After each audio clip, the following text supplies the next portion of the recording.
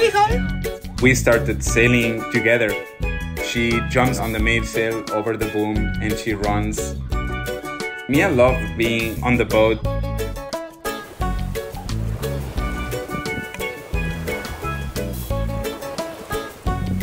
I met a couple that had also a sailboat and a cat.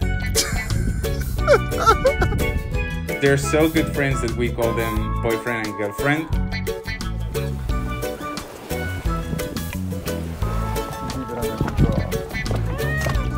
She has so much fun on the boat, and then as soon as we get home, she will sit next to me. She won't move from my side. We go on short bike rides also. When we ride, she doesn't meow, she takes it full on.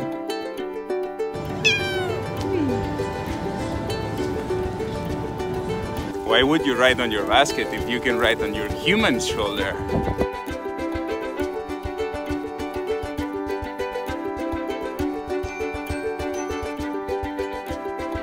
When she wants to go outdoors, she will start meowing. I open the door of my house and she runs in the corridor. It's very cool seeing her embracing the outdoors. I got Mia, not knowing anything about cats. I do not have a partner, so I was feeling a little lonely. And she brought quite a lot of joy right from the beginning. If you're happy and you know it, say meow.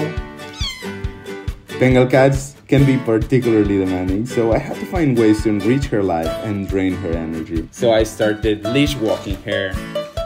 Good girl. Seeing her outdoors and embracing every new input that she was receiving made me realize that she's way happier outdoors than indoors.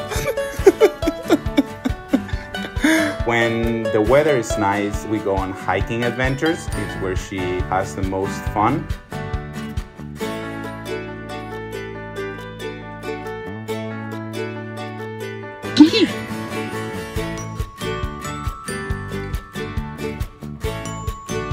She rides on my shoulder most of the time. She likes it.